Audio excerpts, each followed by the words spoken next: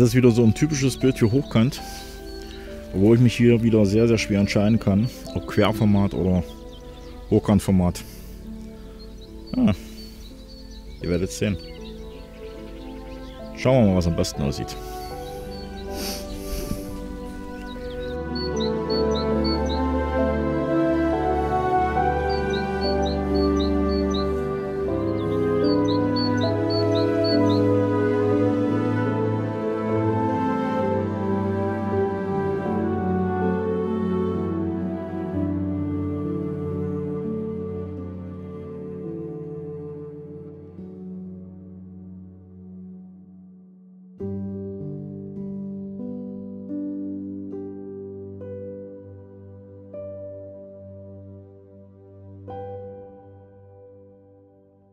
Ich wünsche einen wunderschönen guten Morgen.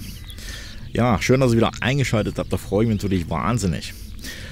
Ja, es ist natürlich, es ist schon wieder erstaunlich. Ähm, ich eigentlich wollte ich äh, heute äh, straff hoch in den Wald gehen und ja, tausend Motive schon wieder unterwegs gesehen und äh, es ist erstaunlich, was man alles so auf dem Weg so findet und äh, erlebt. Ja. ja, wir haben Blütezeit, ich glaube, es sind Kirschblüten, wenn mich alles täuscht. Und heute will ich mit 135 mm hauptsächlich fotografieren. Also hauptsächlich 135 mm mit einer offenen Blende. Das gefällt mir eigentlich immer sehr gut. So, nichtsdestotrotz äh, gehe ich jetzt mal meinen Weg oben weiter und nehme mich natürlich gerne mit. Und dann schauen wir mal, was es noch alles so äh, unterwegs begegnet, dass wir schöne Fotos machen können. Das Wetter ist wieder schön. Wir haben Sonntag früh um, ja, ich schätze mal so Viertel acht, halb acht. Ähm, ist leicht bewölkt. Ja, also die Sonne kommt nicht ganz so durch. Ist jetzt nicht schlimm, finde ich sehr, sehr gut. Wir haben eine schöne Softbox und das Licht können wir natürlich nutzen für Nahaufnahmen oder für äh, tolle Aufnahmen mit einem schönen Hintergrund. So, das gefällt mir sehr gut und das wollen wir heute machen. Also, ich gehe jetzt meinen Weg weiter und dann hören wir nochmal. Auf jeden Fall, ich freue mich, dass ihr da seid. Bis gleich.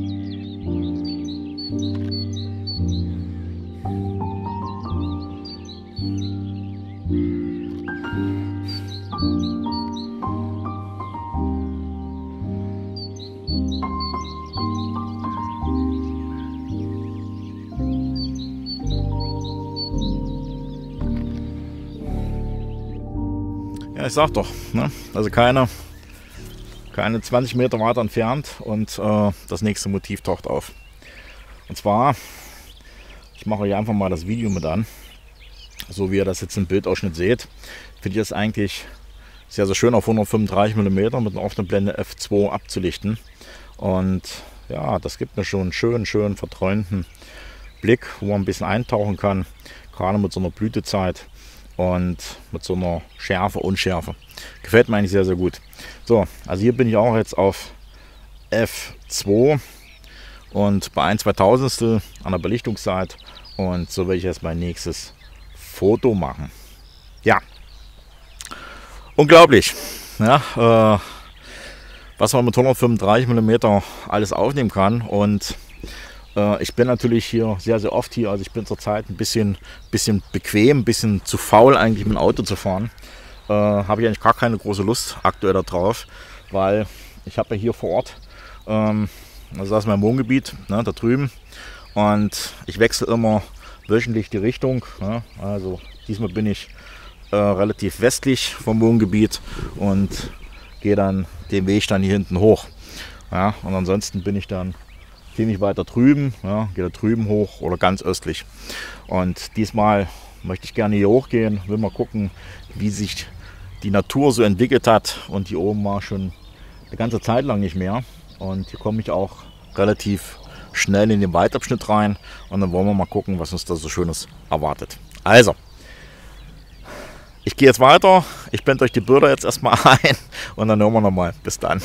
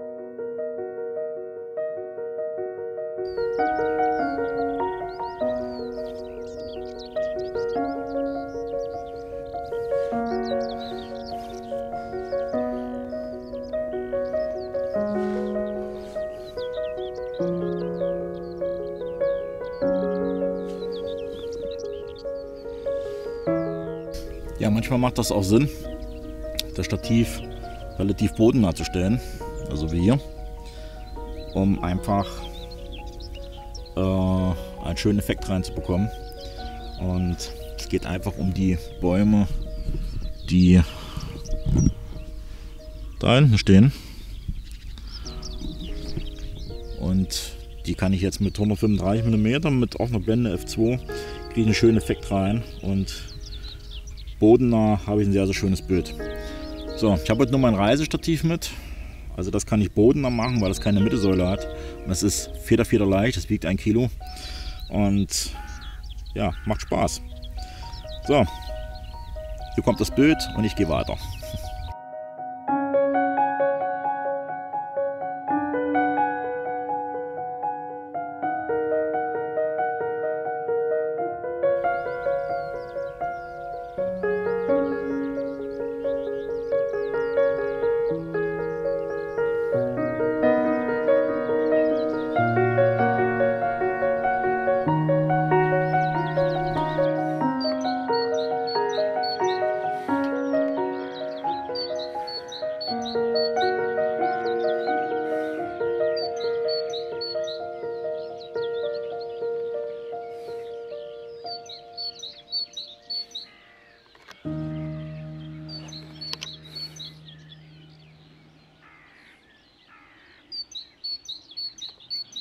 Manchmal sind es auch die, die kleinen Dinge, was so ein Bild sehr, sehr interessant macht, wie zum Beispiel ja, Pusteblumen oder auch Löwenzahn. Kann natürlich auch äh, auf 135 mm f2, äh, wenn man ein bisschen Distanz lässt und die Blende also völlig aufmacht, sehr, sehr interessant wirken und sehr, sehr schönes Bild machen. So, was ich auch mal sehr gerne mache, ist, ähm, ja, wenn wir solche Führungslinien haben wie hier, wo der Traktor halt durchgefahren ist. Und das kann auch ein schönes Bild sein. Schade, wir haben heute ein bisschen bewölkt. Also wir haben heute keinen äh, schönen Himmel. Also der Himmel ist nichts aussagend. Und weiß ich jetzt nicht, ob das Bild jetzt äh, wirken wird. Ja, besser wäre es gewesen, wenn hier jetzt eine schöne Sonne reingeschienen hätte und wir hätten einen schönen Sonneneffekt drin gehabt. Das hätte mir viel, viel besser gefallen. Aber wir nehmen die Dinge so, wie sie sind. So, Jetzt gehe ich mal weiter.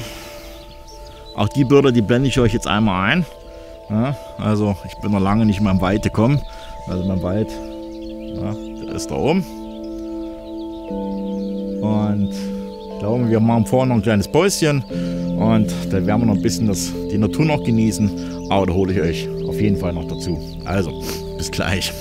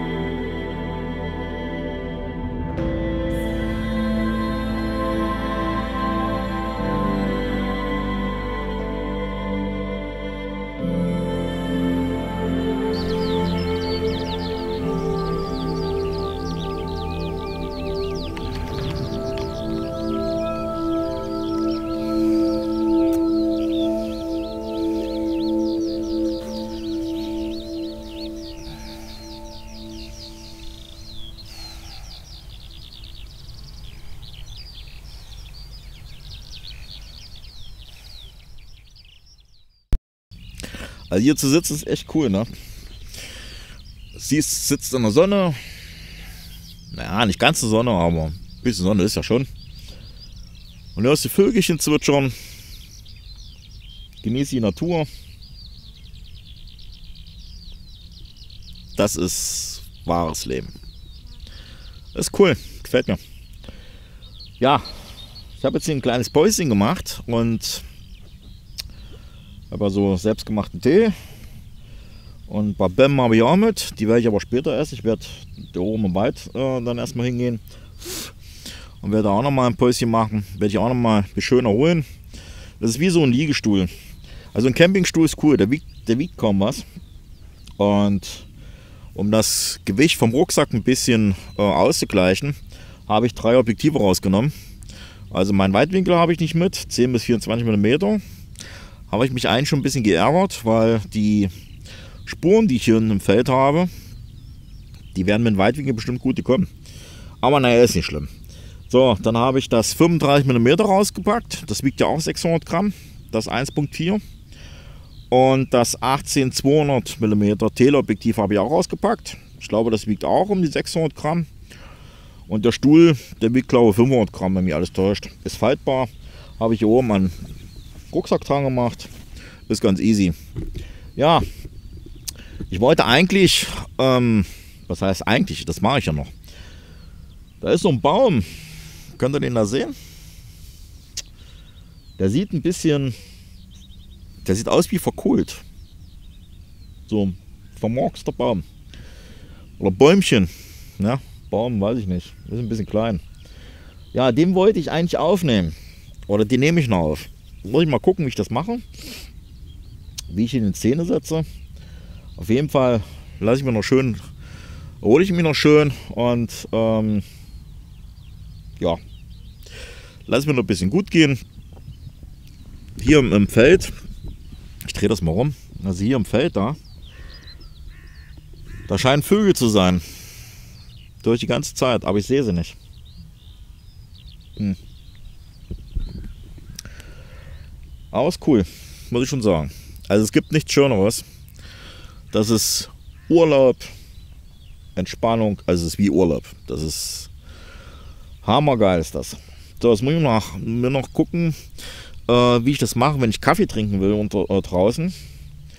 Ähm, dass ich da irgendwie den Rucksack so modifiziere, äh, weil ich habe auch so einen kleinen Brenner.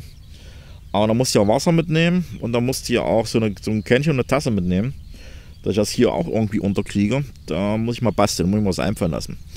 Ja, also ich habe schon, ich habe schon viele Sachen ausprobiert. Ne? Äh, dann habe ich überlegt, so ein Moped so, so ein Motorroller so ein 50 Kubik. Der kostet ja, also der ist, ist äh, im Unterhalt ziemlich günstig. Ähm, ja, da fährst du nur zum Spot hin. Dann habe ich überlegt, äh, nimmst das Fahrrad. Aber beim Fahrrad ist es so, da fahre ich an die Motive vorbei. Weil was ich jetzt hier gelaufen bin, na gut, das seht ihr jetzt nicht. Ja, ich bin schon ein Stückchen hier hochgelaufen. Und was ich da schon fotografiert habe, das würde ich mit dem Fahrrad gar nicht sehen. Das heißt, laufen. Sonst läufst du einfach an den Motiven dabei. Und äh, wenn du fotografieren willst und Fahrrad fahren, dann musst du entscheiden. Entweder fährst du mit dem Fahrrad zum Spot hin und fotografierst den Spot, dann hast du den Spot aber fest im Blick. Oder du machst eine Foto-Wandertour, dann brauchst du kein Fahrrad mitnehmen, weil dann fährst du an den Motiven halt vorbei, ne? die ich jetzt heute schon mitgenommen habe. Das ist natürlich schade. Ach, da Schmetterling. Weil das ist so schön heute. Heute soll es warm werden. 24 Grad haben sie angesagt. Ich bin gespannt. So, meine lieben Liebenden. Ich werde jetzt gucken, wie ich das äh, Motiv hier mit den abgefuckten Baum da an Zähne setze. Weil irgendwie hat er was. Und das Bild blende ich euch ein. Aber was wir haben, wir haben natürlich Mücken und wir haben Fliegen und ja. Oh, Scheißhaufen ist denn so, ne? Ne. Außer ich vielleicht. so, also, ich gucke jetzt, dass ich das schön in Szene setze. Also diesen Baum da hinten. Das Bild blende ich euch dann ein. Und dann würde ich sagen, dann packe ich meine Sachen wieder ein bisschen zusammen, dass wir ein bisschen weitergehen. Und oder ich genieße noch ein bisschen. Mal gucken. Weil Hartes Licht haben wir heute nicht. Wir haben es ja bewölkt. Ja, könnt ihr das sehen hier im Hintergrund? Ja, ne? Seht ihr.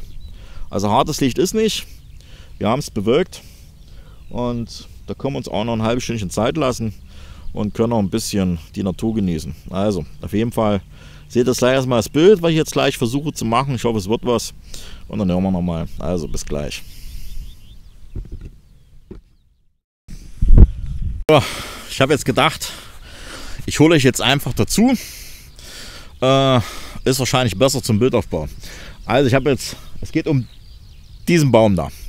Und ich habe jetzt verschiedene Szenarien ausprobiert. Ich bin also ziemlich weit hinter gegangen jetzt und habe jetzt äh, bei 135 mm APS-C ist natürlich 2 mm klein mit Format, ist natürlich ein Stückchen Linse. Ähm, als Stück Linse, Stückchen Entfernung. Und ich liebe ja dieses F2. Und ähm, ja, ich habe also von der Position, also von der Position darüber fotografiert. Aber irgendwie hat mir das alles nicht zugesagt. Ich, ich blende euch alle Bilder mal ein, die jetzt, oder ich blende es jetzt ein, die ihr jetzt seht. So, also so wie ihr das jetzt seht, finde ich die Bilder eigentlich okay, aber nicht weltberühmt. Also mir gefallen sie nicht wirklich. Ne? So, jetzt habe ich folgende Situation. Ich habe das Stativ ganz auf den Boden gepackt, bin im Hochkantformat geblieben.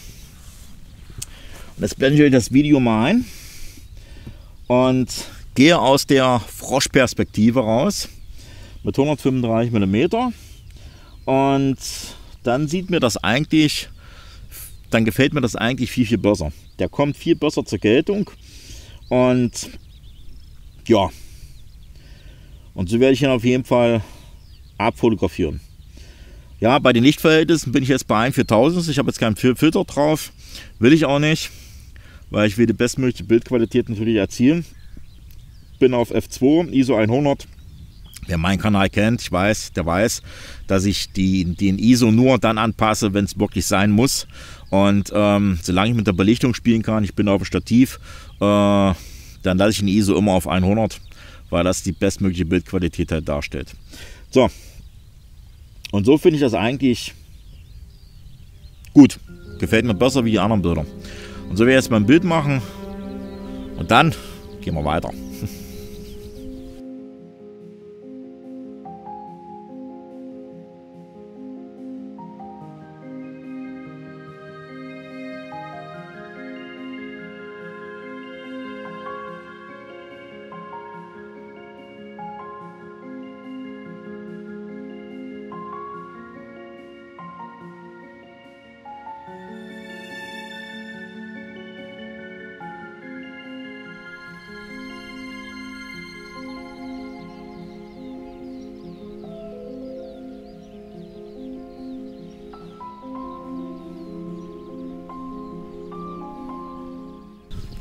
So, meine lieben Liebenden, das letzte Motiv für heute. Und zwar das Video wieder viel, viel zu lang. Und zwar, ähm, wir haben da einen sehr, sehr schönen Baum. Und hier davor haben wir Pusteblumen mit einer schönen Wiese. Und wenn ich von hier stehe und gehe mit der Kamera ziemlich weit runter und stelle im Hochformat ein, dann ziehe ich mir eine schöne Linie zwischen den Pusteblumen und dem Baum. So, und das Video blende ich jetzt einmal ein. So wie ihr das jetzt seht, habe ich also fokussiert auf die äh, Pusteblumen nach vorne hin und den Baum lasse ich hinten etwas angeschnitten und so gibt mir das eine schöne Flucht mit einem schönen Vordergrund und einem schönen Hintergrund. Und so gefällt mir das eigentlich sehr, sehr gut. Und so werde ich jetzt mein letztes Foto machen. Das werde ich jetzt nicht mit F2 machen, sondern ich werde die Blende jetzt ziemlich, ziemlich schließen ähm, wahrscheinlich mit F13 bis F16, so um die Dreh herum. Äh, das muss ich gleich nochmal anschauen. Und so sieht auf jeden Fall mein Bildausschnitt aus. So, das soll es dann von meiner Seite wieder heute gewesen sein. Ich hoffe, ihr habt ein bisschen Spaß wieder heute mit mir gehabt. Und ich würde sagen, wir sehen uns dann beim nächsten Video. Jetzt kommen nochmal die Bilder zusammengefasst, was ich heute alles gemacht habe auf dem Weg. Und ich würde sagen, Bleibt mir schön gesund. Ich wünsche euch was. Alles Liebe. Wir sehen uns dann beim nächsten Mal. Ciao, euer Pierre. Bye, bye.